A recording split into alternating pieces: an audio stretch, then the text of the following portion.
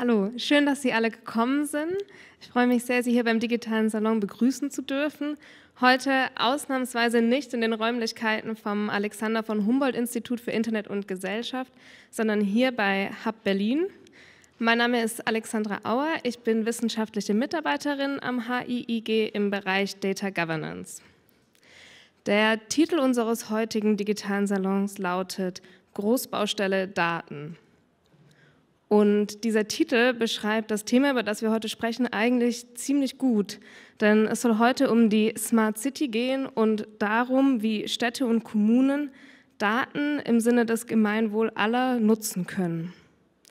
Dabei ist bisher häufig unklar, wo die Daten liegen, wer auf sie zugreifen darf und wofür man sie verwenden darf. Um zu verstehen, warum der Umgang mit Daten so komplex ist, hilft ein Blick auf die Großbaustelle. Damit eine Baustelle funktioniert, müssen Prozesse und Akteure perfekt miteinander koordiniert werden. Material muss zum richtigen Zeitpunkt am richtigen Ort sein und die richtige Qualität haben. Dabei ist genau definiert, wer welche Verantwortung trägt und wer wann wo zum Einsatz kommt. Die Koordination datengetriebener Projekte in Städten erweist sich nicht zwingend als weniger komplex. Gerade in Städten sind Zusammenhänge so vielschichtig, dass Daten aus mehreren Quellen kombiniert werden müssen. Die Daten liegen dabei bei unterschiedlichen Unternehmen, Kommunen und auch bei den Bürgerinnen. Damit die Daten einerseits technisch verwendet werden können, andererseits aber auch rechtlich verwendet werden dürfen, müssen auch hier alle Akteure perfekt miteinander koordiniert werden. Genau wie bei einem Bauvorhaben muss also eigentlich im Vorhinein, also bei der Konzeptionsphase schon festgelegt werden, wer erhebt die benötigten Daten mit welchen Mitteln, unter welchen Bedingungen darf ich darauf zugreifen und für welchen Verwendungszweck. Entsprechen die Daten überhaupt der benötigten Qualität und können sie somit zur Lösung beitragen? Diese Frage können und müssen und können Kommunen sich nicht alleine beantworten. Alle beteiligten Akteure, also Politik, Verwaltung, Unternehmen und die Bürgerschaft, vertreten bei der Beantwortung dieser Fragen unterschiedliche Interessen. Diese müssen miteinander in Einklang gebracht werden. Dabei hat vor allem die Bürgerschaft eine besondere Rolle, denn sie vertritt einerseits Interessen in der Datennutzung und Teilung, von der sie zum Teil selbst persönlich betroffen ist, Andererseits vertritt sie aber auch Interessen in Bezug darauf, was mit dem Ergebnis passiert, denn das wird ja dann in ihrer Stadt realisiert. Bei einer Baustelle ist der gesamte Prozess ersichtlich. Er wird in der Stadt exponiert, alle können ihn sehen, hören, wenn auch nicht immer freiwillig. Aber BürgerInnen verstehen die groben Abläufe einer Baustelle. Wir wissen, dass zuerst der Rohbau stehen muss, bevor die Elektrik verlegt werden kann. Wir sehen Fortschritte eines Projektes und genauso sehen wir auch, wenn ein Projekt nicht läuft und es zum Beispiel zu einem Baustopp kommt wegen Bodenbeschaffenheiten. Diese passive Wahrnehmung und Teilnahme hilft uns allerdings dabei, kontinuierlich eine Meinung über dieses Bauvorhaben zu bilden. Genauso sollten auch bei datengetriebenen Vorhaben jeder Prozessschritt für Bürgerinnen ersichtlich und nachvollziehbar sein. Das heißt auch, dass die Datengrundlage, auf der entschieden wird, ersichtlich sein muss.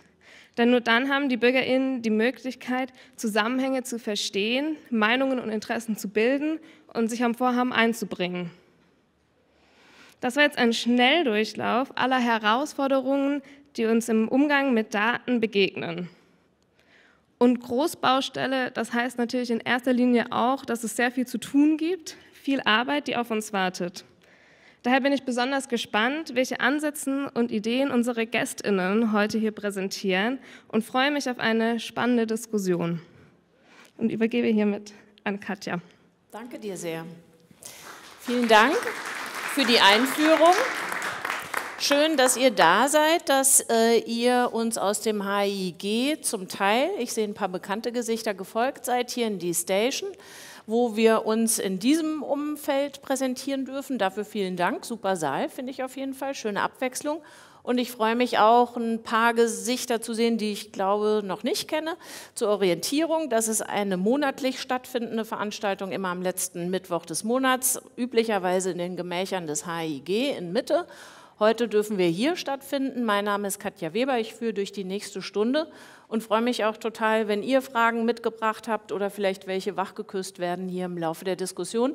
Gebt ein Handzeichen, äh, dann können wir die aufgreifen. Ich frage auch zwischendrin immer mal wieder danach. Und wer uns im Stream sieht, da auch herzlich willkommen. Ähm, Hashtag Dicksaal über Slido oder Twitter, dann wird es äh, nach vorne gereicht. Und die Fragen beantworten würden euch dann diese vier Gäste hier, die ich euch gerne vorstellen möchte. Maurice Stenzel ist da, Informatiker, aber auch, wie ich las, Kunst- und Musikwissenschaftler. Ich weiß nicht, ob wir heute Musikwissenschaftliches hören werden zur Smart City. Mal gucken.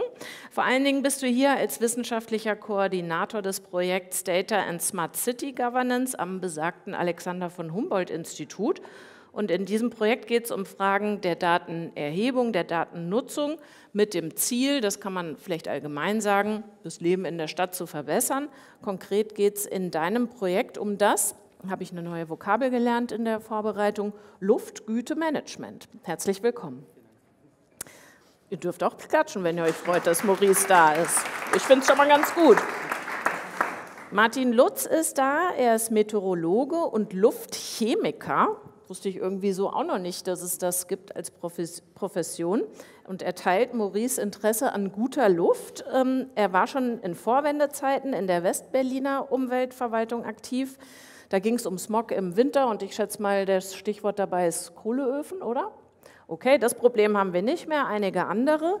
Einige Jahre war Martin dann bei der EU-Kommission unterwegs, auch im Bereich Umwelt und ist jetzt schon wieder einige Zeit zurück in Berlin bei der Berliner Senatsverwaltung für Mobilität, Verkehr, Klimaschutz und Umwelt, wie das inzwischen heißt, und dorthin wiederum Fachgebietsleiter für Luftreinhalteplanung. Ich hätte aus aktuellem Anlass ein paar Fragen zur Arbeit dieser Behörde. Ähm, mal gucken, ob wir dazu kommen, aber ich versuche mich auch ein bisschen zurückzuhalten. So, herzlich willkommen. Applaus Geraldine Bastion ist hier. Sie ist Politikwissenschaftlerin und im Grunde in ihrem natürlichen Habitat, vermute ich, denn ich wette, viele von euch kennen sie und schätzen sie als Moderatorin der Republika, die ja auch lange Jahre hier stattgefunden hat, im nächsten Jahr auch wieder in der Station stattfinden wird.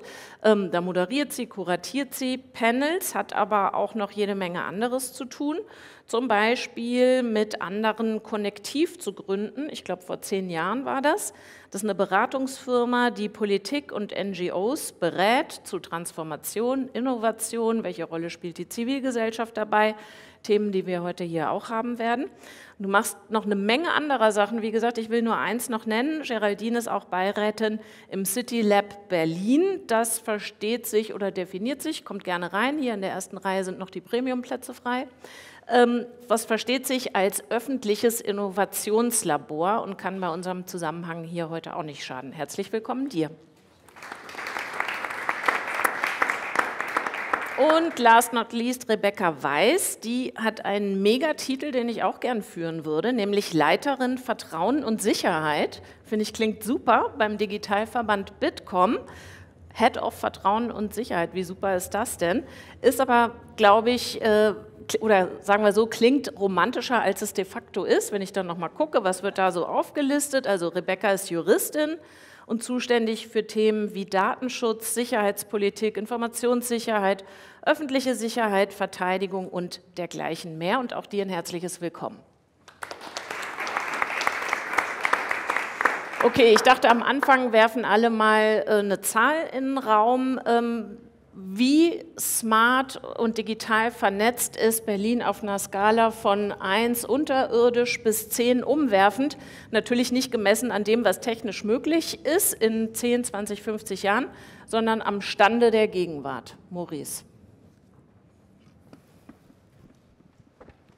Einfach oben reinreden. Wie, wie war die Skala? Von? 1 unterirdisch, 10 Hammer. Eine 5. Eine diplomatische 5. Äh, du musst nicht diplomatisch sein, oder? Ich belasse es erstmal bei der Zahl. Okay, Martin. Ich teile es mal auf. Äh, wir in dem kleinen Bereich vielleicht so sieben bis acht, ansonsten drei. Okay, äh, sieben bis acht für Luftreinhaltung, ansonsten drei. Und das sagst du als Fachgebietsleiter oder als Bürger? Oder kommt dabei dasselbe raus? Sowohl als auch. Also als Bürger hätte ich jetzt keinen Einblick in, in unsere Infrastruktur, aber die drei, die nehme ich als Bürger wahr. Wenn ich einen Okay. Ausflug in die Waldstadt Spandau als jemand machen darf mit dem Fahrrad, der in Lichterfelde West wohnt und seinen Reisepass abholt, naja, da Okay. ist Luft nach oben. Ich glaube, die Kollegen aus der Technik freuen sich wie Bolle, wenn du oben in das Mikrofon äh, reinsprichst und nicht so von seitlich unten. Wie lautet deine Note, Geraldine? Ich hätte auch eine 3 vergeben. Ich hatte es gerade schon eben kurz draußen erzählt. Ich bin gerade direkt aus England gelandet. Man möchte nicht nette Sachen über die Regierung dort sagen, aber sehr funktionale E-Government-Anwendung erlebt als äh, jemand, die auch diesen Pass inne hat. Und deswegen kann es gerade nicht höher als eine 3 sein. Okay, ähm, eine 3. Rebecca, jetzt hängt es an dir. Kannst du den äh, Schnitt noch so, den Notenspiegel ein bisschen nach oben verschieben? Noch mal ein bisschen anheben. Als äh, Berlinerin fällt es mir ganz schwer, keine 10 für Berlin zu vergeben, aber ich glaube, ich äh, muss es dennoch tun. Ähm, ich würde sagen, eine 4, maximal 4,5. Ähm, aber im letzten Jahr hätte ich vielleicht auch noch eine 3 gegeben. Also insofern, es wird besser.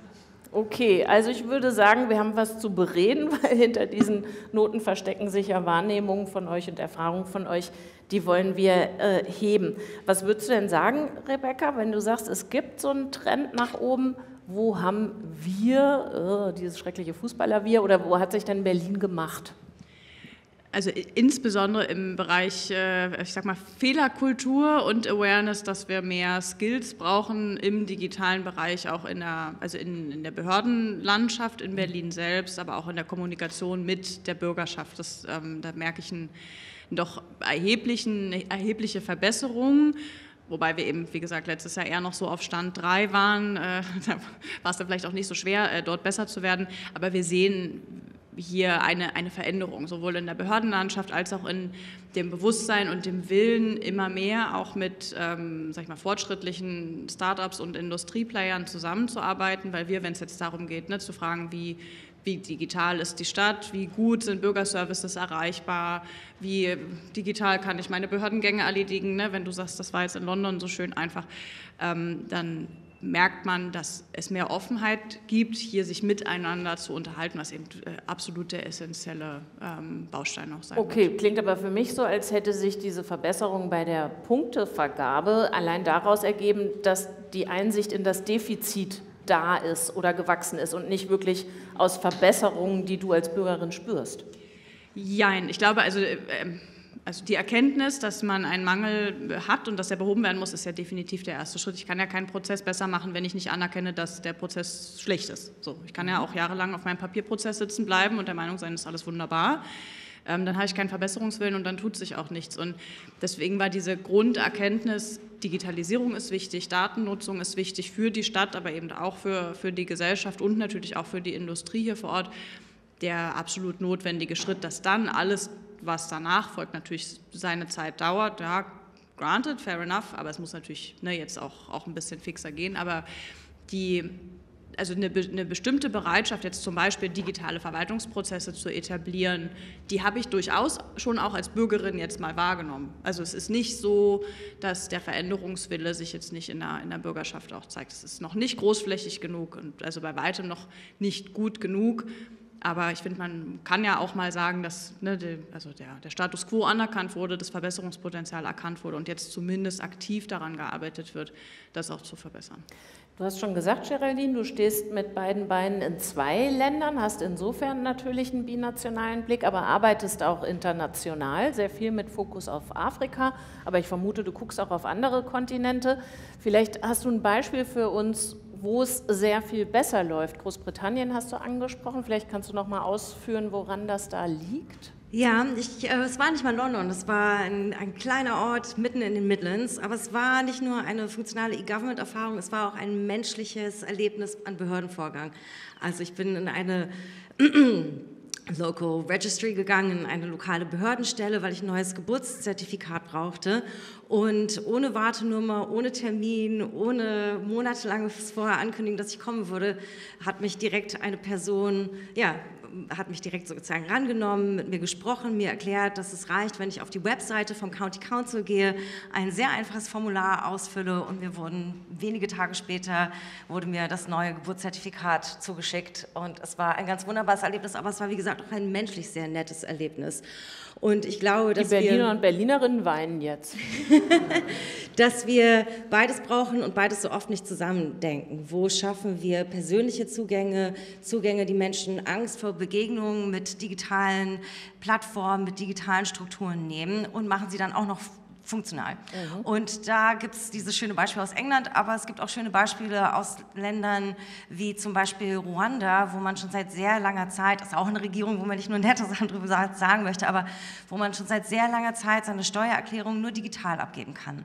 Aber natürlich wissen Behörden in diesem Land, dass Aber das ist ja in Berlin auch so. Mhm, aber macht überhaupt keinen Spaß mit dem Elster-Zertifikat und so weiter, aber man kann es. Man kann es, aber Also dieser Behördenzweig ist digitalisiert in Berlin. Muss nicht, man kann ja auch noch auf Papier Papier, auch wenn es nicht so gerne ähm, mehr angenommen wird. Äh, aber der Punkt ist eigentlich daran, dass erkannt wurde, dass nicht jeder zu Hause Computer hat und nicht jede ihre Steuererklärung eben ähm, am eigenen Endgerät ausfüllen kann und dass es deswegen sowas gibt wie digitale Bürgerkioske, wo Menschen hinkommen können und sich zu unterschiedlichen digitalen Vorgängen helfen lassen können. Und das macht mir auch Hoffnung in Berlin. Das finde ich ist eine der sehr schönen Dinge, die vorangekommen sind, weil im letzten Haushalt genehmigt wurde, dass 14 Berliner Landesbibliotheken sogenannte digitale Bürgerzentren einrichten, wo eben genau das passieren soll, wo Menschen hinkommen können, unterschiedliche digitale Services ausführen können, ob es Online-Banking ist oder die Steuererklärung in einem Safe Space, in einem Ort, wo man sich sicher fühlt und wo vielleicht auch Menschen sind, die mit einem reden mhm. und einen dabei unterstützen können. Ich glaube, genau solche Zugänge braucht es, solche Strukturen braucht es, die Digitales ermöglichen, aber gleichzeitig auch menschlich gestalten. Jetzt sind wir natürlich im Bereich Services, der in Berlin schwer unterbelichtet ist, aber mir ging es mehr im Grunde um das geile Datenprojekt, wo Mehrwert, gesellschaftlicher Mehrwert bei rausfällt. Hättest du da ein Beispiel international, woher auch immer?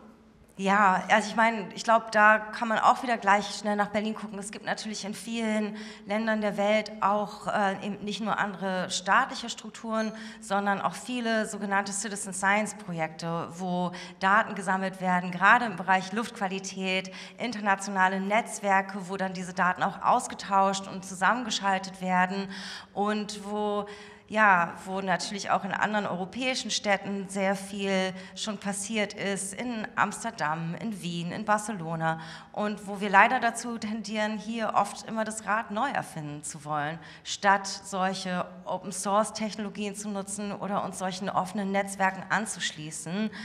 Das ist auch jetzt im Bereich der Smart City Strategie, würde ich zumindest sagen, in einem der Pilotprojekte der Fall, wo es auch eben um Luftqualität geht. Da können die Kollegen bestimmt noch viel mehr zu sagen als ich, aber wo sich eben nicht entschlossen wurde, das in einem solchen Citizen Science Verfahren zu machen oder mit offenen Technologien, sondern ein anderer Weg gegangen wurde. Okay, jetzt spielst du den Ball zu Martin zum Punkt äh, Luftreinhaltung. Du hast dir vorhin oder eurer Arbeit selbstbewusst eine 7 bis 8 gegeben. Das ist äh, quasi galaktisch nach dem, was wir hier sonst so zusammengekriegt haben. Was läuft denn bei euch so super? Ja, es hat damit zu tun, dass wir natürlich äh, Daten erzeugen, und zwar jede Menge und laufend und das seit ewigen Zeiten. Und deswegen seit ewigen eine, Zeiten heißt? Äh, seit ich angefangen habe, 1985. Da stand in einem riesen Raum ein Rechner, den hat das amerikanische äh, Militär verwendet. Also es war ein ziemlich schneller Prozessrechner, weil wir ja die Daten, die von den Luftgüte-Messstationen kamen, ja sofort verarbeiten mussten. Also die IT-Infrastruktur, die wir brauchten, war eigentlich schon immer besser als sonst wo. Mhm. Und ich habe selber als, als jemand, der dann Daten ausgewertet hat, äh, mal später auf der Cray äh, Programme laufen lassen. Das war der erste Rechner, der, der Prozessoren hatte, die parallel rechneten. Also das war natürlich irgendwie super. Okay, ihr habt die Daten, höre ich daraus. Das ist euer Asset. Bei vielen anderen Bereichen äh, suchen wir die noch und überlegen, wie kriegen wir die denn überhaupt rein. Nun denke ich aber, wenn es um Emissionen geht, um Luftverunreinigung, gibt es natürlich eine Menge Daten. Also jeder denkt natürlich an den Straßenverkehr und ich glaube, da stehen auch eure Stationen rum, die da so rausfiltern und gucken, äh, wie viel Belastung ist denn da drin. Aber es gibt industrielle Produktion, es gibt äh, den Gebäudesektor, gern vergessen. Also wir alle, wenn wir so vor uns hin wohnen und heizen, emittieren rum. Äh, dann ist Wind und Wetter, alles wird da rumgepustet und durcheinander gebracht. Also wie sauber sind denn eure Daten oder was nehmen die auf? Ich schätze mal, da die an den Verkehrswegen stehen, vor allen Dingen Straßenverkehr.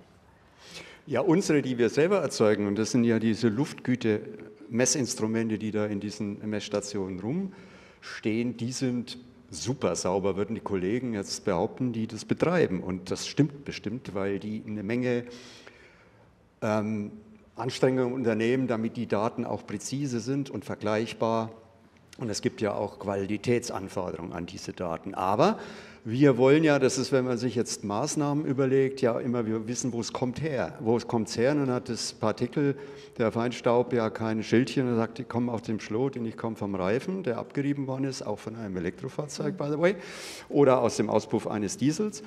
Das müssen wir ja erst mühsam herausfinden und damit, dazu braucht man die von dir erwähnten Emissionsdaten. Die kommen jetzt woanders her, die kommen von anderen. Gott sei Dank haben wir ja Gesetze und die schreiben vor, dass zum Beispiel Betreiber von Kraftwerken und von größeren Anlagen die Emissionen messen müssen oder jedenfalls irgendwie ausrechnen und uns die Daten regelmäßig zusenden. Das heißt, das ist, apropos Governance, festgezurrt geregelt. Gott sei Dank. Und da müssen wir dann nur noch gucken, dass die, die Berichterstattung regelmäßig erfolgt und äh, dass die Daten zuverlässig und genau sind. Aber das ist etwas, was natürlich sehr vorteilhaft ist, dass irgendwo genau beschrieben ist, welche Daten werden übermittelt, welche müssen erhoben werden, in welchem Zeitraum, zu welchen äh, Datenqualitätsanforderungen äh, und so weiter. Wo das nicht der Fall ist, da haben wir ein Problem. Und das ist dann beim, beim, beim Verkehr zum Beispiel, wo ja kann sich jeder vorstellen, dass was aus dem Auspuff eines Fahrzeugs kommt, ja auch davon abhängt, ob das Fahrzeug jetzt beschleunigt oder bremst. Ne? Also merkt schon, Stau. Ja, die Frage, wie ist denn die Verkehrssituation, ist sehr wichtig.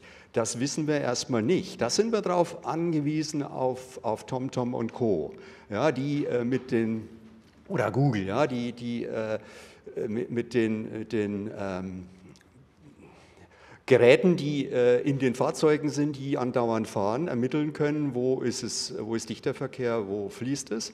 Und diese Daten zu bekommen in einer für uns äh, erforderlichen Datenqualität und zu nicht horrenden Kosten, da haben wir dann schon manchmal Probleme. Und da könnten wir mal noch etwas drüber reden. Maurice, würde ich dich gerne fragen, als Informatiker, wie happy bist du denn mit den Daten in puncto Luftreinhaltung? Oder wo siehst du äh, Luft nach oben? Ähm, also erstmal bin ich nicht der Fachmann, um äh, Luftqualitätsdaten zu bewerten. Nee, ähm, nee, nee, aber ich meine, äh, also welche, also da wir von so einem komplexen System reden, wo siehst du denn da sozusagen potenzielle Quellen, ähm, die dann Bias reinbringen, die einen Aspekt unterbeleuchtet lassen. Also würdest du sagen, die Güte der Daten ist in dem Bereich äh, so, dass sich sinnvoll damit arbeiten lässt? Da muss ich mich auf die Expertinnen in den, in den, Verwaltungen verlassen und das tue ich auch. Was ich auf jeden Fall gelernt habe in den letzten Monaten, ist, dass Berlin eine der äh, höchsten, wenn nicht sogar die höchste Abdeckung von Messstationen in Deutschland hat mit, ich glaube, 17 im äh, gesamten Stadtgebiet, was auf den ersten Blick für mich erstmal relativ wenig klang. Aber ich glaube, die zweite Stadt ist München mit insgesamt fünf Stationen, so zum Verhältnis. Also da sind mhm. wir schon relativ gut aufgestellt. Ähm, was allerdings dazu kommt, das hatte Geraldine vorhin schon mal kurz angedeutet, ist, dass es ja eben gerade im Bereich von Citizen Science ähm, Projekten äh, wahnsinnig viele Stationen gibt, die auch Daten liefern. Ne? Also es sind mehrere hundert Messpunkte in der Stadt, die von äh, Bürgerinnen und Bürgern auf den Balkonen stehen, auf den Fensterbrettern die es im Grunde für, ähm, weiß nicht, 60 Euro als Bausatz äh, zu kaufen gibt, wo man sich das selber zusammenschrauben kann. Und die, um das zu checken, die laufen dann in die Senatsverwaltung nein, oder wo laufen da, Nein, das tun sie nicht. Das ist, und das ist genau der Punkt. Also es gibt äh, neben diesem offiziellen äh, Messnetz, auf deren Grundlage dann eben auch Verwaltungsentscheidungen getroffen werden, äh, weitaus mehr Datenquellen noch, die eben zusätzliche Informationen liefern, die aber äh, gewissermaßen losgelöst davon sind. Mhm. Na, und hier liegt auch eine Menge Potenzial, aber da gibt es eben auch eine Menge offene Fragen, wie man die miteinander synchronisieren kann, gerade in Bezug auf die Qualität. Mhm. Hm, jetzt würde mich natürlich noch interessieren, dann stehen diese 17 Messstationen äh, kreuz und quer durch die Stadt verteilt. Äh, mal angenommen, ich weiß nicht, ob da eine steht, es steht, äh, keine Ahnung, an der Schönhauser Allee in Prenzlauer Berg steht so ein Dings und stellt fest, boah, voll die schlechte Luft hier, warum auch immer, wegen Stau, Brand, keine Ahnung, irgendwas. Wie dynamisch reagiert das System? Also äh, findet man das raus, wenn man irgendwann mal Enter drückt und sieht, oho, echt schlechte Werte an der Schönhauser Allee? Oder passiert dann irgendwas, was dafür sorgt, dass in relativ kurzer Zeit an der Schönhauser Allee die Luft wieder eine bessere ist? Nee, ich sagte ja gerade, die Messinstrumente produzieren andauernd Daten, alle Sekunden. Und äh, deswegen ja auch damals schon vor 30 Jahren der relativ aufwendige Rechner, der die Daten in Empfang nahm. Das heißt, wir, wir, wir können in Echtzeit gucken, was ist da. Ja, was ja? ist da, aber folgt aus dem, was da ist, dann auch was? Ja, na klar, das messen wir ja. Aber was denn zum Beispiel? Zum Beispiel äh, Dieselfahrverbote. Dieselfahrverbot. Weiß ich nicht, ob ihr das schon mal mitgekriegt habt, dass spontan irgendwo ja, Dieselfahrverbot also war in der Quellen, Stadt wegen schlechter Luft? Wir entwickeln Maßnahmen und quälen die AutofahrerInnen. Nein, äh, wir überlegen uns natürlich... Das hört Ihre Senatorin bestimmt gerne. Ja, ich habe das ja auch hoffentlich in ironischem Ton rübergebracht. Aber äh, die, erste, die erste Frage, die man sich natürlich stellen muss, äh, welche Maßnahmen sind in welchem Bereich sinnvoll, ist, wie viel kommt aus welchen Quellen. Und deswegen braucht man Messstationen an der Straße, gleichzeitig Messstationen im Wohngebiet, wo wenig Verkehr ist, Messstationen außerhalb der Stadt, eine Messstation im Grunewald, eine Messstation in Hasenholz. Ihr könnt euch vorstellen, wo die ist, irgendwo im schönen Brandenburg, 50 Kilometer weg. Und die Vergleiche zwischen den einzelnen Messstationen geben uns ja dann Hinweise, wo kommt es her. Und vielleicht noch ein Wort zu Citizen Science. Jetzt habe ich schon das äh, Wort Datenqualität ein paar Mal in den Mund genommen. Da haben wir eben ein Problem. Ja, das ist jetzt bestimmt nicht so überraschend, dass ein Messgerät, das 60 Euro kostet, jetzt von der Datenqualität nicht ganz so viel ähm, leistet wie eins, was 60.000 Euro kostet oder 40.000, was in unseren Messstationen drin ist. Ja, und äh, das ist natürlich das Problem. Das sieht man auch in den Apps, die, die entwickelt werden und die alles zusammenführen, unsere Daten und die von, von Bürgerinnen und Bürgern, die diese ähm, Sensoren aufhängen, dass eben es Riesenunterschiede gibt, die man sich nicht erklären kann, außer damit, dass man sagt, na gut, der Sensor misst eben eine Hausnummer und nicht die Luftqualität. Und das ist schon ein Problem. Ja, also, dass wir Daten verschiedener Qualität vorliegen haben, die zusammenbringen müssen und dann, und das ist noch wichtiger, ähm, vermitteln müssen, wie man diese Daten interpretiert. Dass eben ein Messwert, der 400 ist, obwohl unsere Messwerte 40 zeigen oder, oder 14, diese 400 eben Quark sind und nicht echt. Jetzt sind ja, wir schon das bei der. Das ist natürlich ein, äh, nochmal ein extra Problem, was vielleicht jetzt außerhalb des Themas hier ist, aber ich wollte es nochmal loswerden, weil mit solchen Daten ja viel gearbeitet wird und es gibt dann auch mal einen Tagesspiegelartikel auf Seite 1 des Berliner Teils. Ja. So, äh, jetzt sind wir schon mittendrin in den Untiefen äh, der Daten in puncto Luftreinhaltemanagement. Ich würde gerne noch mal, Rebecca, mit dir auf eine Story gucken, die total gerne meiner Wahrnehmung nach erzählt wird, wenn man über die datafizierte, smarte Stadt spricht. Das ist dann immer die Straßenbeleuchtung und dann wird die Straßenlaterne runtergedimmt, wenn sich da nichts und niemand regt und äh, sobald Mensch oder Fahrzeug, äh, Verkehrsteilnehmerinnen da unterwegs sind, wird es wieder hochgefahren. Und ich habe mich gefragt, kennt das irgendjemand? Gibt es das schon irgendwo? Oder ist das, keine Ahnung, vom NBW Showroom irgendwie eine Straßenlaterne? Also hier in Berlin ist es mir zumindest persönlich auch noch nicht über den Weg gelaufen, wobei ich neulich gelernt habe, es gibt ein separates Schild an den Straßenlaternen, was signalisiert, ob die Straßenlaterne nicht die ganze Nacht an ist. Wusste ich nicht, da darf man übrigens nicht parken interesting. Also äh, Beleuchtung hat offenbar viele Auswirkungen. Da darf man ähm, nicht parken. Ja, ich glaube, weil dann eben nachts die Beleuchtung da nicht gegeben ist. Aber es, also da ist dann an der Straßenlaterne so ein kleines weiß-rotes. Mhm. So. Was man alles lernt, äh, ja, so. Ähm, aber ja, also Beleuchtung finde ich äh, grundsätzlich erstmal ein gutes Beispiel, weil so wie du gesagt hast, da sind natürlich enorme Einsparpotenziale, wenn man das großflächig umsetzen könnte. Also wenn man sagt, man macht bedarfsgerechte äh, Beleuchtung und damit auch bedarfsgerechten Energieverbrauch. Das ist aber auch erst dann wirklich sinnvoll, wenn man es stadtweit ausrollen könnte. Da sind wir in Berlin weit voneinander entfernt. Ich habe so also Modellstraßen im Ausland zum Teil erlebt, wobei ich immer glaube, also noch viel wichtiger für, für eine Großstadt wie Berlin, aber eigentlich auch für alle äh, Großstädte wäre eine verbesserte Datennutzung im Verkehrsbereich allgemein. Also nicht nur ne, auf die Beleuchtung geguckt, sondern wie gehen wir überhaupt mit dem Verkehr um. Und da gibt es noch viel zu wenig systematische Ansätze, um die Verkehrsflüsse zum Beispiel vernünftig zu messen. Was bisher ja passiert, ist, dass wir also teilweise in einzelnen Straßenzügen erfassen. Wir haben eben das gleiche Problem, was du auch schon beschrieben hattest, dass die Bereitstellung äh, der Daten in einer sag ich mal, ausreichenden Qualität und von einer ausreichenden Anzahl an Menschen bisher nicht, nicht gegeben ist. Und selbst wenn ich dann also so einzelne Straßenzüge mal bemessen kann, ähm, kann ich damit natürlich noch keine richtigen stadtplanerischen Entscheidungen treffen, weil interessant wird es ja erst dann, wenn wir insbesondere Pendelwege über die ganze Stadt und eigentlich auch aus dem Großraumgebiet tatsächlich verfolgen könnten, um dann zu merken, alles klar, wir haben an drei oder vier Wochentagen einen erheblichen Pendlerstrom aus nach, was machen wir damit? So, wo löst der den Verkehrskollaps hier in der Innenstadt aus? Kann ich entweder rerouten, kann ich ein Park and Ride bauen, kann ich Radwege bauen, kann ich Nein. ja Nein.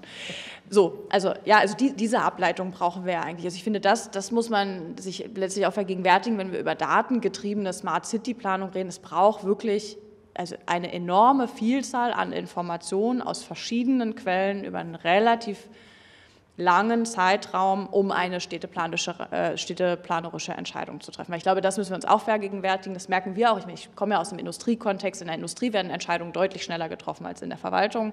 Das hat auch sicherlich was mit, ne, ich muss, ja Steuergelder allokieren, das mache ich nicht mal, weil ja gerade Dienstag ist. Also klar, müssen viel, viel mehr Erhebungen erstmal stattfinden, um zu sagen, das kann ich jetzt tatsächlich machen, das kann ich mit dem Budget, was mir hier im Haushalt zugewiesen ist, auch umsetzen.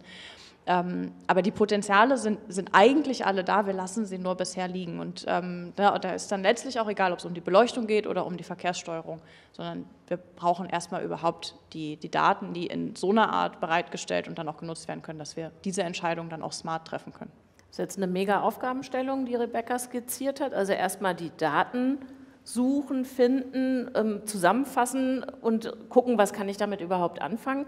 Ähm, wir haben sie nicht, das ist jetzt, äh, glaube ich, eine flächendeckende Analyse hier. Was wäre der Weg dahin? Jetzt äh, jeder zweite Abiturient, Abiturientin muss irgendwie einen Demoskopiestudiengang machen und danach drei Pflichtjahre in Verwaltung. Oder wie käme man dahin, Geraldine, zu den Daten?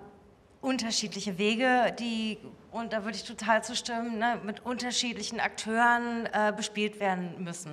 Und deswegen eben auch die Frage, wie können wir dann neue, neue Verträge, neue Konzepte haben, wo privatwirtschaftliche Daten zur Verfügung gestellt werden, anders genutzt werden können von öffentlicher Hand, sogenannte Data Sharing Agreements ähm, geschaffen werden können. Wie können wir aber auch darüber nachdenken, wie längerfristig durchaus eben auch Crowdsourcing eine Rolle spielen kann bei Datenthemen gemeinsam mit natürlich offiziellen Messstationen und Erhebungen in unterschiedlichen Bereichen. Also wie machen wir es so, dass BürgerInnen dieser Stadt Lust haben, ihre Daten zu teilen?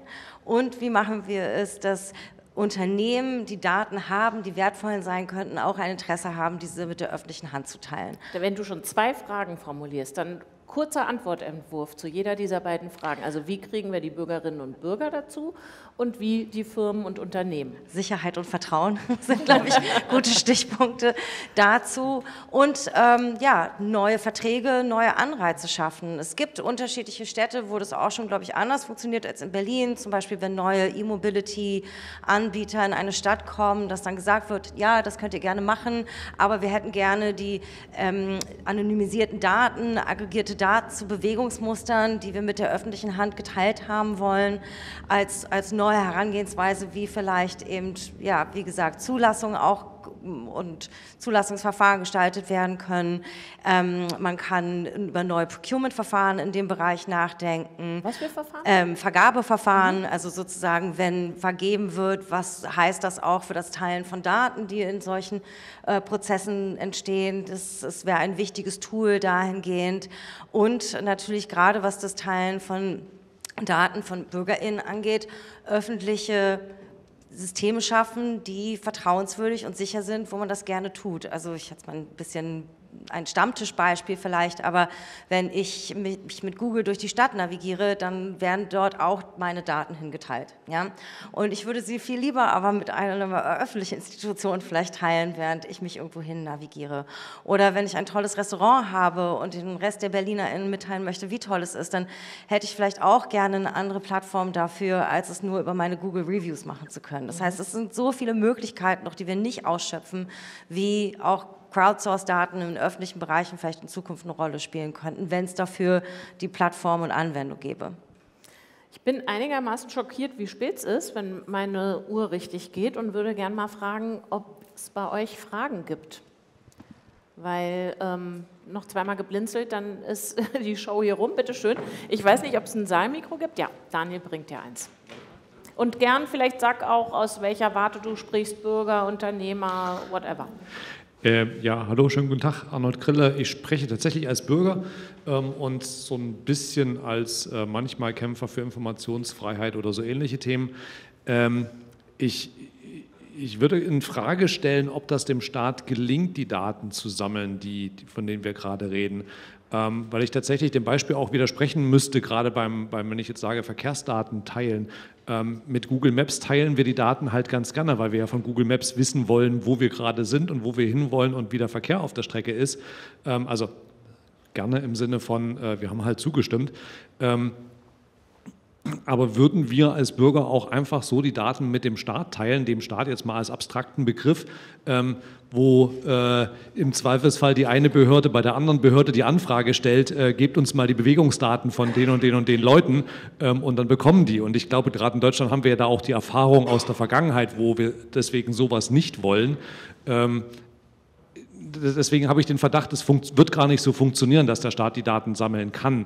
Ähm, keine Ahnung, ob das, ob das geht, ob es da überhaupt einen Weg aus dem Dilemma rausgibt. Ähm, super Frage, ähm, würde ich gerne hier in die Runde gehen. Eigentlich würde sie an dich gehen, Rebecca, weil du bist hier die mit Vertrauen und Sicherheit, aber ich würde gerne erstmal bei dem Wissenschaftler nachfragen, kann der Staat das überhaupt? Da höre ich ja eine gewisse Skepsis raus und selbst wenn das könnte, wollen wir das? Das ist die entscheidende Frage, glaube ich. Also ob, technisch, äh, ob er technisch in der Lage wäre, das umzusetzen, äh, müsste man sehen. So vermutlich würde es länger dauern, aber vermutlich wird am Ende irgendwas stehen. Ähm, die viel spannendere Frage ist ich habe äh, jetzt ähm, heute im Laufe des Tages mir ein paar Artikel durchgelesen zum Data Act, äh, zu den Neuigkeiten von letzter Nacht. Und ähm, in den Kommentarspalten ging es im Grunde eigentlich genau um die Thematik, die äh, du gerade angesprochen hast, nämlich äh, da, also kurz wurde argumentiert, im Grunde äh, unter bestimmten Voraussetzungen soll der Staat äh, auf die Daten zugreifen können und da wurde eben gesagt, unter, unter dem Deckmantel des Katastrophenschutzes. Und der Grundtenor der, der Kommentarspalten war, das ist das Einfallstor und der Staat will sozusagen alles, alles kontrollieren. Und das sind eigentlich im Grunde die gleichen äh, Diskursformationen, die wir schon seit der Volkszählung 87 kennen, über Beginn äh, MySpace und Facebook, Plattformisierung bis heute Smart City. So, das sind so die, die großen Linien, die sich da irgendwie spannen. Deswegen, das ist eigentlich die viel entscheidendere Frage, ob die Bürgerinnen und Bürger eigentlich bereit sind, die Daten zu teilen. Und ich bin da aus dem, auch was ich jetzt heute im Laufe des Vormittags noch gelesen habe, tatsächlich ein bisschen skeptischer als noch gestern Nachmittag. Aber so. andererseits, das hast du ja auch angesprochen, wir teilen sie ja auch mit Elon Musk.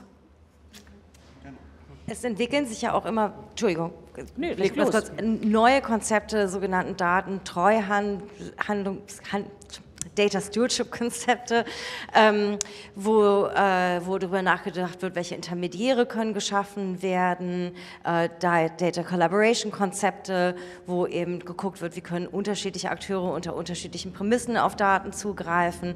Also vielleicht müssen wir da auch einfach neue Strukturen erfinden und denken, die in eine Richtung gehen, wie wir öffentlich-rechtlichen Rundfunk begreifen, der nicht an sich der Staat ist, aber eben ein öffentlich-rechtliches Gut hat.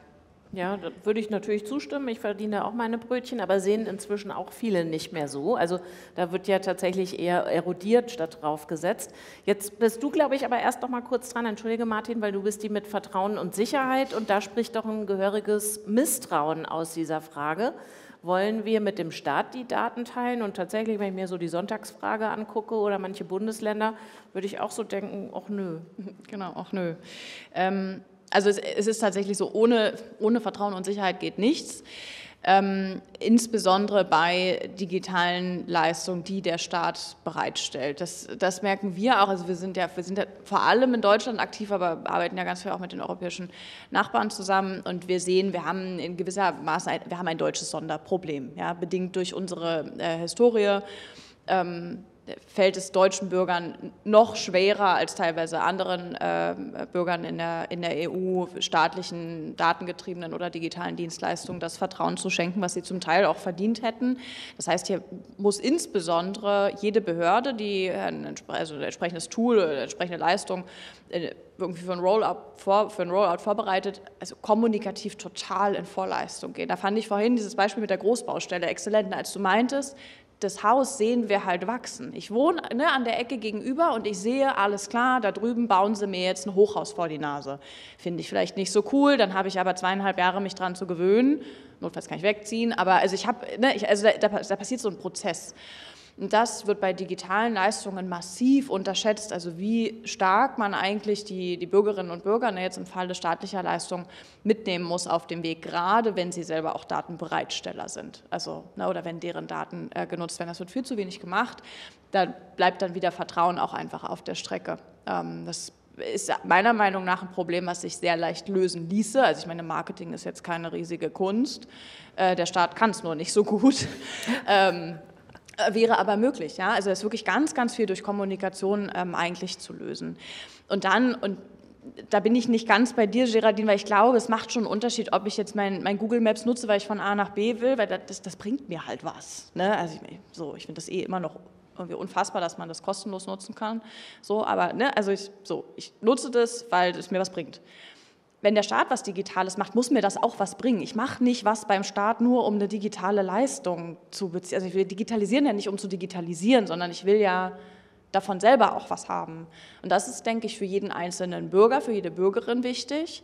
Aber, und ehrlicherweise kommen wir wieder so zu dem Thema, wer gibt denn die Daten auch für die Industrie? Also weil wir schon auch diskutieren, auch Stichwort Data Act, wenn jetzt die Industrie ständig Daten an den Staat geben muss, fragen sich unsere Unternehmen schon, ja, was also was kriege ich dafür, was habe ich davon? Und was haben meine Kunden davon? Und wie sicher sind die Daten, die ich beim Kunden erhebe, dann beim Staat.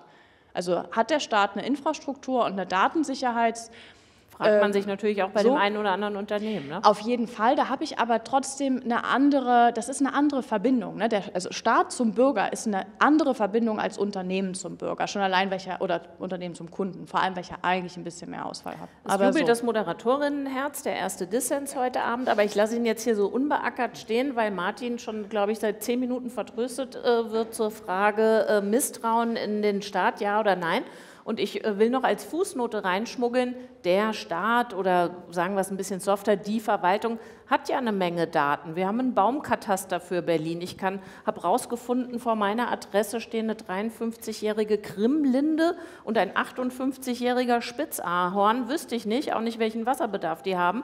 Wenn es nicht einen Baumkataster gäbe auf berlin.de, äh, auch wenn es wirklich optisch das Grauen ist, kann man eine Menge herausfinden über die Berliner Straßenbeleuchtung und wie viele Laternen noch mit Gas betrieben werden, was nicht erst seit dem letzten Jahr total beknackt ist, äh, wenn es seit 20 Jahren eine LED-Birne gibt, also äh, die man so massenwirksam einsetzen kann. So, das habe ich als Fußnote noch reingeschmauschelt. Puh, jetzt bist du dran, Martin, zum Thema, ähm, also ha, ha, hat der Staat nicht schon super Daten, die wir erstmal nutzen sollten, bevor wir weinen, welche fehlen? Und müssen wir misstrauisch sein? Ähm, Frage, wer ist denn eigentlich der Staat? Jetzt Entschuldigung, das sind doch wir, oder? Also äh, der, der, der Ton dieser, dieser Debatte, nicht der jetzt hier unbedingt, sondern das ist ja überall so. Der Staat. Der, die, die, die, ich bin ja völlig lost, sagt man da auf Neudeutsch. Ja? Ich verstehe es nicht.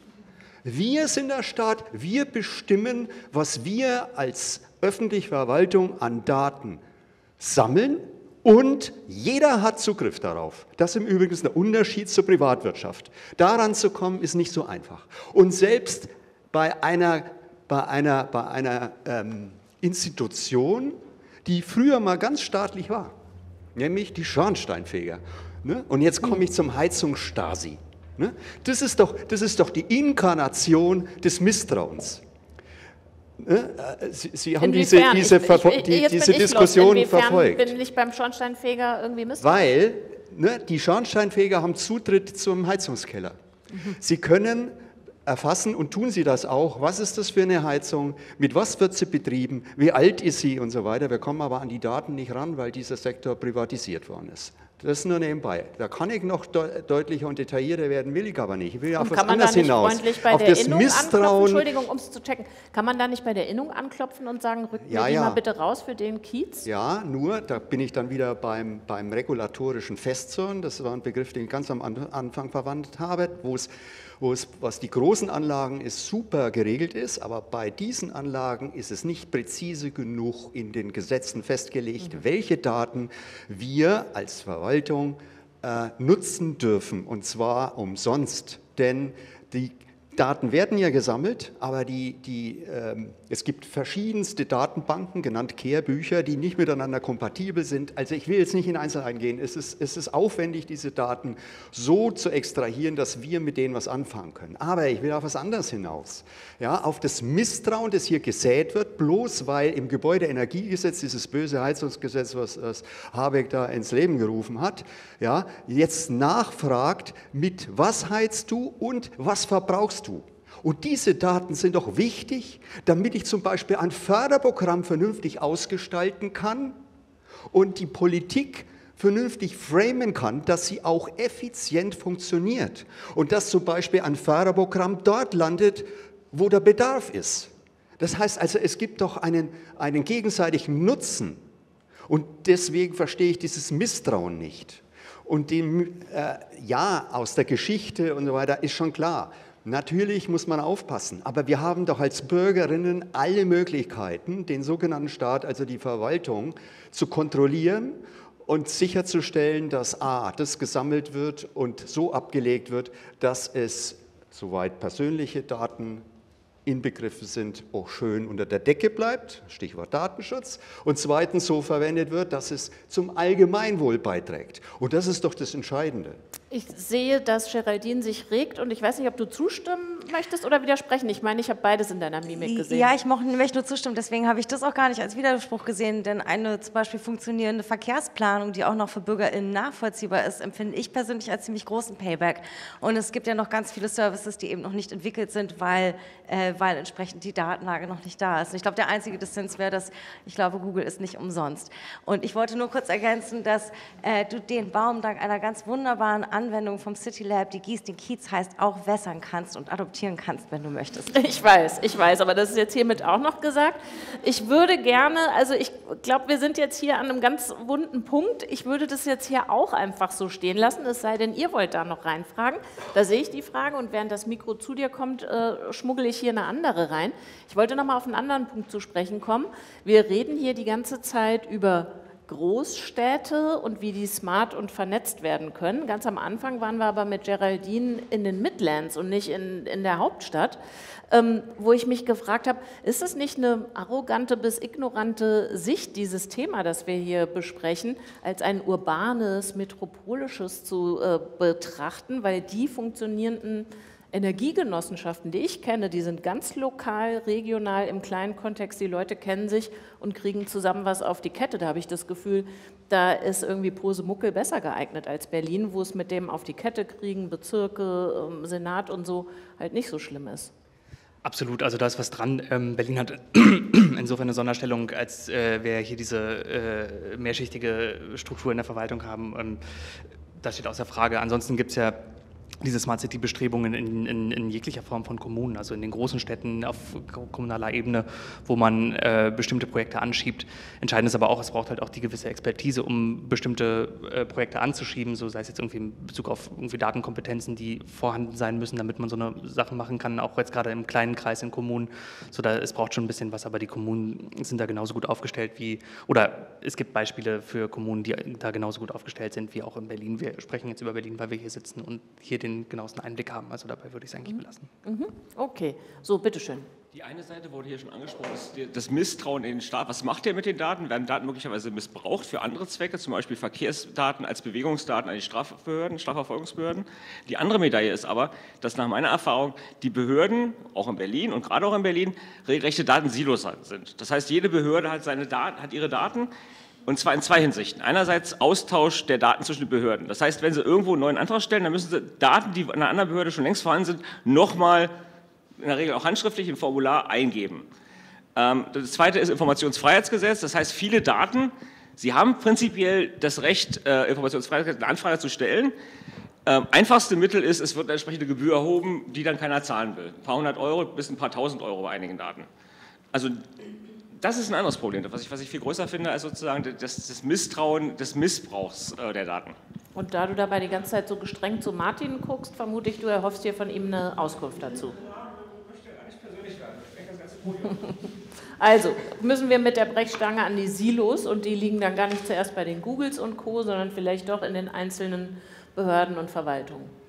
Ja, ich glaube schon, dass da Luft nach oben ist, äh, zweifellos. Ja? Äh, das ist aber manchmal, glaube ich, auch eine Mindset-Frage. Äh, es gibt ja viele in meinem Alter in der Verwaltung, äh, nicht mehr lange, ne? aber da ist ja 15 Jahre keiner hinzugekommen. Ne? Sparen, dass es quietscht, Stichwort. Ja, und das macht natürlich mit so einem Apparat etwas. Das hat mit Staat und Verwaltung gar nichts zu tun. Das wäre in der Privatwirtschaft ganz genauso, behaupte ich. Ja, also das heißt, dieses, dieses Weiten des Blickes im weitesten Sinne eben. Wer hat denn jetzt welche anderen Daten und Informationen? Braucht der oder diejenige meine, ja, dieses, dieses äh, freizügig zur Verfügung stellen, das ist noch nicht so weit verbreitet. Aber es gibt natürlich auch Hürden. Ja? Äh, äh, ich habe ich ich hab mal bei der BVG gemeldet, dass, dass Leute in der U-Bahn was beschädigt haben. Ja, ich, die, durften, die Polizei durfte meine, meine, meine Daten nicht rausgeben und ich habe die Belohnung nicht gekriegt. Ne? Also das ist, das ist jetzt so. Moment, das ist jetzt natürlich die Take-Home-Message des Abends. Das steht gar, stimmt gar nicht, was da immer drin steht. Äh, ich kriege so und so viel 100 Euro, wenn ich das melde. Ja, also äh, wirft ein ganz anderes absurd. Licht Ich weiß es nicht, es hat sich vielleicht inzwischen geändert, mag ja sein, aber ich, es ist jetzt ein Extrembeispiel. Aber es gibt eben manchmal schon äh, Hürden, auch rechtlicher Art, der, der, der einfachen, äh, des einfachen Datenaustausches und Transfers. Ähm, da bin ich jetzt auch nicht der Experte, gucke ich nach links. Ähm, aber äh, ja, point taken, würde ich sagen. Äh, da gibt es äh, Luft nach oben. Zustimmung auf breiter Linie, Maurice? Maurice, ohne weiteren Kommentar. Alle beschränken sich aufs Nicken. Nee, Rebecca spricht auch. Genau, ich würde vielleicht noch einen, einen Punkt ergänzen. Also Silos definitiv. Ich glaube, in der, in der Verwaltung sehen, sehen wir das. Du hast völlig recht, die, ne, die Verwaltung, den Staat gibt es ja nicht, aber also auch in den einzelnen Behörden, wo schon ähm, Daten also seit vielen Jahren auch aufbereitet und gesammelt werden, ist es ganz häufig das Problem, dass die dann nicht äh, so kompatibel äh, sind mit äh, Datensätzen, die in anderen Behörden sind, dass die Qualität nicht übereinstimmt und so weiter. Wir haben das gleiche Problem äh, in der Industrie, müssen wir auch fairerweise sagen. Also Silos sind, was datengetriebene Innovationen angeht, mit eines der Haupthindernisse, was wir gerade, also alle versuchen zu lösen. Ne? Und ich ich habe also mein, mein so Gesamteindruck, wenn man auf die gesamte Datenökonomie guckt, ist immer wieder, wir sind fast schon also a little late to the game, ja, weil die, ähm, die Entwicklungen in den einzelnen Silos sind gar nicht so schlecht vorangeschritten. Das heißt, jeder hat jetzt auch so seinen eigenen Status quo hergestellt, ja, und ja, ich mache es eben so und das funktioniert für mich ganz gut und jetzt auf einmal heißt es, ihr sollt aber alle untereinander die Daten teilen damit dann ganz neue tolle Geschäftsmodelle entstehen können. Wobei, und, und dann muss man reinzurufen, hm? das ja durchaus funktioniert und dann auch wieder, wenn es staatlicherseits äh, gefördert wird. Ähm, die, ähm, es gibt eine Strategie in puncto Medizin, wo genau die daran beteiligten Cluster und Kliniken und so weiter dazu angehalten sind, das sozusagen kompatibel zu erheben. Also will sagen, wenn, oh Mist, jetzt schon wieder der Staat da Geld reingibt äh, und die Forschung und auch die Praxis fördert, dann lässt sich diese gemeinsame Sprache und diese Schnittstellenbildung natürlich befördern und ins System reinbringen, dass nicht irgendwie in Göttingen, keine Ahnung, meine Sprunggelenksverletzung anders ähm, datifiziert wird als in Berlin oder so. Genau, also ja, aber es braucht eben die, also die Vereinbarung bestimmter Datenstandards auch. Also welche Datenpunkte erhebe ich Wie? Das ist bei einem Röntgenbild, könnte ich mir vorstellen, noch etwas einfacher bei den anderen, also als bei den anderen Anwendungsfällen, die wir sehen, weil ja auch, und das muss man ja auch immer dazu sagen, auch da wieder datengetriebene Innovation ist kein Selbstzweck. Wir machen das nicht, weil wir datengetriebene Innovation machen wollen, sondern weil irgendwie eine gute Leistung rauskommen soll. Die hat immer einen bestimmten Zweck. Ich will immer irgendwas Bestimmtes mit den Daten machen. Und das in den Datensätzen zu hinterlegen, ist nicht so trivial, weil wir ja, und das stellen wir auch immer wieder fest, da haben wir dann im Datenschutz sowieso immer sofort ein Problem. Wir haben manchmal Daten oder hätten gerne manchmal Daten, von denen wir noch nicht wissen, wofür wir sie brauchen. Es geht halt im Datenschutzbereich sowieso quasi nicht. Aber im, also ne, so bei euch sind so also Luft, Luftmessungsdaten wunderbar, ja, alles anonym, also beziehungsweise nicht personenbezogen. Aber wenn ich noch nicht 100 pro weiß, was ich mit der Information später mache, ist es nicht so einfach, die für alle potenziellen Zwecke zu labeln, damit sie dann auffindbar sind. Weil das ist ja auch, es geht ja nicht nur darum, dass einer die Daten hat und die irgendwo reinpackt. Wir wollen ja keinen riesigen Datenfriedhof bauen, ja, wo dann tausende Daten drin liegen, so, hm. sondern wir wollen eine navigierbare, möglichst föderierte Struktur haben, wo dann jemand sagt, ich bräuchte Daten dieser Kategorie, dieser Qualität für den Zweck. Und dann kann er in der großen Bibliothek quasi sehen, alles klar, der hat davon 10.000 Datensätze, ziehe ich mir die, der hat 100.000. So, so soll das System funktionieren. Und das Labeling ist, also, das ist wirklich so die größte Aufgabe momentan. Für den Umweltbereich haben wir das immerhin geschafft mit dem Umweltatlas. Wo alles drin ist. Da kann man jetzt sich natürlich unterhalten über die Oberfläche und die Schnittstelle und so weiter. Aber immerhin, also die Datenbank ist super. Das äh, bisschen Selbstlob muss heute Abend auch sein. Äh, aber es äh, gilt ja den Kolleginnen und Kollegen, die den aufgebaut haben und betreiben. Und das ist wirklich eine super Sammlung. Wer immer sich aus da bedienen will, kann sich das rausziehen. Maurice, was hat denn die Wissenschaft zu sagen zum Thema Interoperabilität, Schnittstellen und Standards, also äh, quasi Verschlagwortung und Notifizierung? Ähm, das ist schon immer das Problem gewesen, seit sich Menschen angefangen haben, Gedanken zu machen über die Beschreibung von Inhalten. Also das gibt ja das, die die Fragen stellen sich ja schon seit Bibliothekskatalogen. Ne? Wie beschreibe ich eigentlich, was ich da sehe? Und ich meine, gerade jetzt in Bezug auf die Verwaltung, so meine Erfahrung von den letzten zwei Kongressen in der jüngeren Vergangenheit, wo es um Staat und Digitalisierung im engeren Sinne ging, waren die zwei Schlagworte OZG, also Onlinezugangsgesetz, und die Registermodernisierung. Das spielt ja genau da rein, ne? dass es eben auch gerade auf äh, Seite der Verwaltung enorme Bestrebungen gibt, das Ganze zu machen. Aber ähm, dass das so gut funktioniert, weiß ich nicht. Also inwieweit man tatsächlich zu einheitlichen Standards kommt für äh, bestimmte Beschreibungen von Datenkatalogen oder sowas. Ich glaube tatsächlich ähm, wären hier andere Ansätze einfach wichtiger, oder, oder nicht wichtiger, sondern äh, realistischer, um da irgendwie ranzukommen, weil einheitliche Standards für, um für jeden Fall, den auch noch jeder versteht, da bräuchte man nochmal einen separaten Katalog, der irgendwie beschreibt, was eigentlich die Metadaten erklären, um dann irgendwie, dann ist man in der Taxonomie in der fünften Ebene und weiß gar nichts mehr und findet vor allem nichts mehr. Ich vermute, ihr habt eine Menge Fragen, da muss ich euch aber vertrösten, bis ihr die draußen vor der Tür stellen könnt, weil wir sind im Landeanflug. Ich habe auch noch eine Menge Fragen, die ich mir hier äh, verkniffen habe. Was macht denn jetzt die KI mit dem Ganzen? Ist ja sowieso immer eine beliebte Frage, egal zu welchem Thema. Ähm, bei dir vermisse ich auch noch, wie, wie kriegen wir das musikwissenschaftlich erhoben, was in der Großstadt los ist? Ähm, auch ins, äh, verlagern wir auch ins Privatgespräch, aber was ich von euch allen gern noch wissen würde, ähm, also vielleicht sind hier potenzielle Gründer, Gründerinnen, äh, ihr wollt so gerne irgendwie eine geile Geschäftsidee haben, habt sie aber nicht. Jetzt würde ich euch bitten, die hier mal frisch anzuliefern.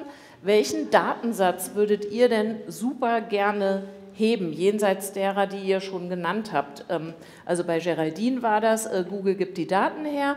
Ähm, bei Martin war es, äh, oder auch aus dem Publikum, äh, ihr anderen Verwaltungen gebt die Daten her. Äh, die sind jetzt schon runter von der Liste, aber wo würdet ihr gern hingucken und welchen Datenschatz würdet ihr gern sinnvoll nutzen? Bitte sehr, Geraldine. Ich habe eine App-Idee, falls jemand bauen möchte. ähm, und zwar, das ist ein EU-Projekt, an dem ich äh, mit oder das ich mitleiten darf. Und wir haben Datenstandards entwickelt für unterschiedliche Orte, Makerspaces, Fab Labs, aber einfach zu sagen, wer hat wo welche Maschinen? Mhm. Wer hat wo welche Maschinen und einen anderen Datenstandard, Open Know Where und Open Know How, heißen die, wer hat welche Skills, wer kann was. Und jetzt ist ja gerade die also neue... Eben nebenan.de so auf Tech-Level. Und jetzt ist ja gerade die neue EU-Direktive zum Right to Repair erschienen und deswegen ist meine App-Idee, falls jemand bauen möchte, mit diesen Datenstandards sagen, wo kann ich in meiner Nachbarschaft mein Regenschirm, mein Telefon, mein was auch immer reparieren gehen, um dieses Right to Repair auch umsetzbar zu machen und dafür eine Infrastruktur, eine, eine technische Ebene zu bilden. Bitte schön. Okay, vielen Dank. Ah, da sind schon drei, vier, fünf Programmierer, Programmiererinnen, die da jetzt klatschen. Wer hat hier weitere Gebote? Martin. Ich glaube, wir haben immer das Problem, dass wir so viele Daten haben und die Darstellung, die grafisch selbsterklärende und, und griffige Illustration ist unser Problem. Und äh, wer immer da helfen will, entweder in Form einer App oder Internet, ähm, der ist willkommen. Okay, ihr habt jetzt Ideen sozusagen für Plattformen, für Websites, für Apps. Ich, die lasse ich gelten, aber die Frage war ja eigentlich, wo ist denn dieser Datenberg, wo ihr euch so ein Sesam öffne dich für wünscht? Vielleicht kommt das jetzt bei Maurice. Ich hatte die Frage ehrlich gesagt auch anders verstanden. Meine Idee zählte auch so ein bisschen in den Bereich von äh, Geraldine im Sinne einer. Äh, ja, zwei habe ich jetzt schon so durchgelassen. Jetzt gib du mir einen Datenberg. Genau. Ähm, Du möchtest ja auch, na gut, dann, also wenn, wenn die Frage schon kommt, dann sage ich es jetzt. Nein, äh, ich hatte tatsächlich die Idee, oder mir fehlt ein Datensatz, ne, den ich gerne hätte, nämlich wenn man kleine Kinder hat und weiß, dass man im Sommer viel äh, mitschleppen muss. Lastenfahrräder werden aus Gründen des, äh, der Diebstahlgefahr häufig in Kellern abgestellt, in Innenhöfen. Man sieht sie auf der Straße nicht, man weiß nicht, wer sie hat, braucht sie aber vielleicht auch nur einmal am Tag im Sommer, wenn man tatsächlich mal längere Strecken fahren möchte. Da kann man sich austauschen, gibt keine Plattform Match. dafür. Wäre gut. Okay, Jetzt hängt es an dir, Rebecca, der Datenberg. Der, also ich glaube, der, der dringlichste Datenberg, der besser nutzbar gemacht werden muss, ist der der Gesundheitsdaten. Disclaimer, es ist auch der, der am allerschwersten zu heben ist, aufgrund der zu vielen Schutzrechte, die, die da dranhängen. Aber ich glaube, das wäre für Gesellschaft, Politik und Industrie das Sinnvollste tatsächlich. Also da bleiben noch am meisten Innovationen, die meisten Daten liegen der Mehrwert ist, glaube ich, für uns alle, liegt, liegt auf der Hand. Ja, ein funktionierendes Gesundheitssystem funktioniert heutzutage nur noch auf Daten. Ich glaube, es ist auch ein Beispiel, wo wir selber, also wo auch jeder einzelne Bürger, jede einzelne Bürgerin eigentlich viel mehr beitragen könnte. Ne? Es gibt ja so Initiativen für Datenspenden und so weiter. Also ich glaube, dass das ist so ein, ist ein Use Case, ja, der eigentlich alle, alle Akteure zusammenbringt, wo am meisten noch liegen. Das wäre, das wäre jetzt so meine Wunschvorstellung, wenn man mal sagt, was willst du so in spätestens fünf Jahren sehen würde ich, würde ich dahin gucken. Okay, traumschönes schönes Thema auch für einen weiteren digitalen Salon auf jeden Fall. Euch vielen, vielen herzlichen Dank fürs Kommen und für die Ideen und für die guten Business-Ideen. Ich hoffe, wir sehen uns dann irgendwann in diesem Rahmen mal wieder und ihr habt das alle umgesetzt, weil ihr seid ja der Start. Euch vielen Dank fürs Kommen, fürs Zuhören und schön, dass ihr uns auch hierher gefolgt seid heute. Nächsten Monat, also am letzten Mittwoch des Monats Juli, würden wir uns dann wieder in der französischen Straße sehen im HIG. Vielen Dank euch und einen schönen Abend noch. Merci.